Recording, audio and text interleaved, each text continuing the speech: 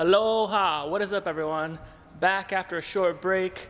I uh, had to take a few weeks off of the Pugly project back here. Um, had two vehicles I had to get out of here, or two projects. Uh, one was, um, was a Tahoe police pursuit vehicle. Um, I actually bought it to do a project, but then I changed my mind because I have so much going on. So I had to clean it up and get it sold. I'll put a picture up of it right here um, so you can see what it was.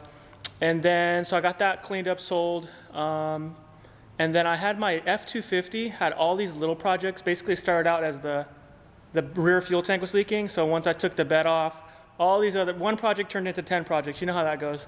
So that was taking my time up for about three weeks.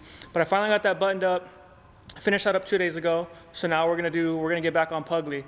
Uh, so a couple updates. Um, today, uh, we're going to get the cab tipped and then check the injectors um, because sometimes people change them. The, it's, it should have the 400, 445 horsepower injectors, but it's pretty easy to put like 500 or whatever, 550 horsepower injectors. So we're gonna see what it has. We're gonna check the numbers on it. And then I'm also doing the final measuring for my Alcoas. So I'm trying to get those ordered up in the next week or two. We'll see what happens there.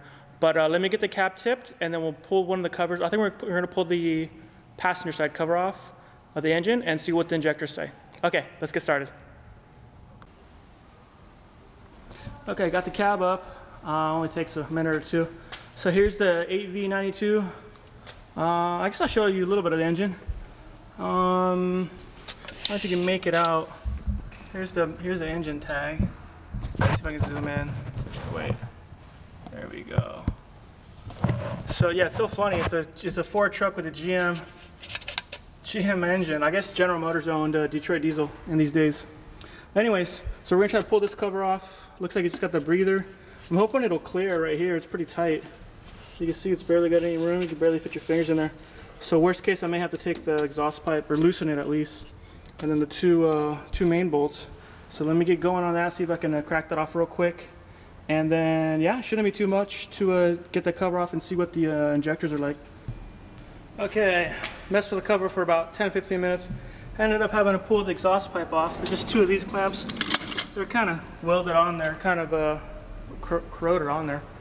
Then the two bolts, it's these two bolts, this short guy. Then this longer one. This longer one went back here, in case putting one of these together. Let's see what it looks like. Hopefully it's, hopefully it's not a mess. Let me see if I can do this with one hand.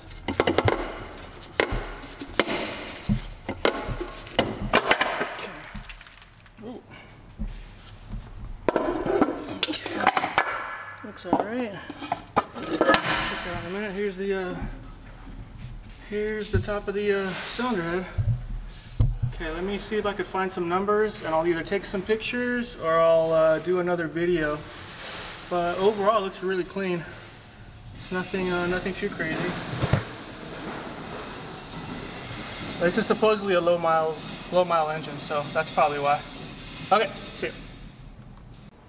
Okay, got the cover off, got the injector cleaned a little bit, was able to find the uh, identification. I guess it's a sticker. It's A9 or 9A90. Let me see so you can see it. It's right there. I'll put a picture in if it doesn't it doesn't uh, focus. Let me see if I can get it to focus.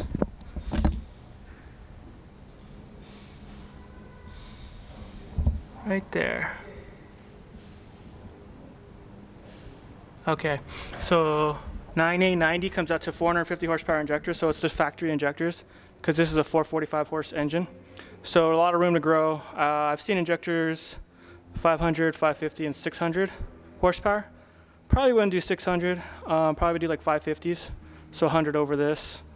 And then um, it has an aftercooler underneath. This, this is the supercharger right here.